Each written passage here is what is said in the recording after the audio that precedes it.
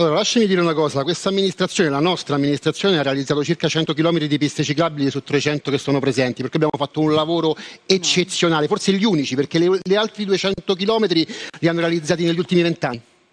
Detto questo, sicuramente alcune piste ciclabili non funzionano, ma fanno parte di un lavoro enorme che va comunque sottolineato e valorizzato. Questo dobbiamo dirlo a chi ci ascolta, perché quando tu lavori tanto e produci tanto, poi vengono, vengono fuori anche quelle che non funzionano. Per cui lì dobbiamo sicuramente ragionare e recuperarle. Poi a me viene da sorridere perché tutti vogliono una città non caotica, tutti parlano di troppe macchine, poi quando fai le piste ciclabili eh, tutti le attaccano in qualche modo. Serviva sicuramente un, un colpo di coda, qualcuno che prendesse in mano il toro per le corna, come si dice, e noi l'abbiamo fatto con la nostra amministrazione. Abbiamo lasciato finanziato circa 150 km di piste ciclabili col PNRR. Gualtieri le realizzerà perché noi l'abbiamo messa a bilancio con i soldi dell'Europa. Poi tutte queste persone viene da sorridere perché quelli che poi attaccano le piste ciclabili, che comunque non rilevano quello che ti sto dicendo, ovvero che c'è un lavoro straordinario con qualche problemino da risolvere, sono quelli che quando vanno in viaggio nel nord Europa tornano dicendo quanto è bella l'Europa. Poi quando sono qui non le vogliono.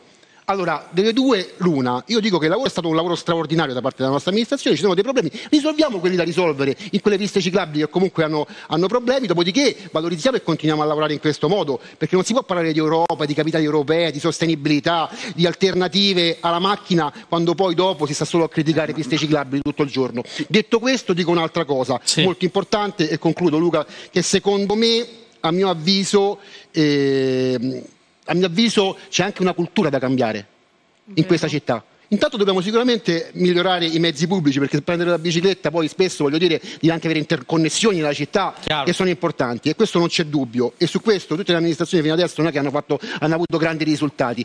Dopodiché anche culturalmente uno sforzo facciamolo perché eh, prendiamo la macchina anche per andare al supermercato. Noi abbiamo realizzato una pista ciclabile sul mare di Roma rendendo tutto il lungomare ciclabile, hai parlato di Ostia prima. Sì ci hanno fatto la guerra per una pista ciclabile sul lungomare. Che dovrebbe essere una cosa Quando molto bella. Quando tutte le capitali del mondo sul lungomare ci sono le ciclabili. Perché? Perché abbiamo tolto una fila di parcheggi davanti al mare. Tutti vogliono parcheggiare la loro macchina a 5 metri dal mare. Quando vai al mare in altre realtà bellissime ti fanno lasciare la macchina a 5 km o prendi la navetta o ti fanno fare il percorso a piedi.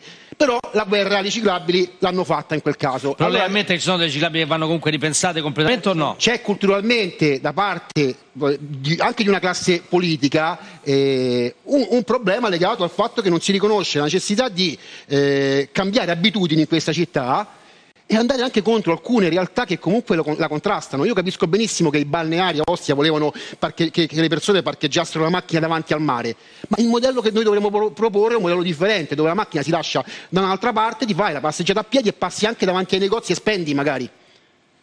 Perché così non alimenti solo l'economia del balneare, ma alimenti anche l'economia di quello che c'è al negozio davanti al mare, che magari paga anche 10 volte di più di affitto. Molto chiaro, molto chiaro. Per avere un bar un bar, chiaro, una pizzeria insomma, o un negozio dove si vende qualcosa. Ci serve anche una logica anche in questo, perché potrebbe essere giusto lo che dice, ma secondo me i mezzi pubblici e infrastrutture ma, vengono prima e dopo le ciclabili, questo è il mio pensiero.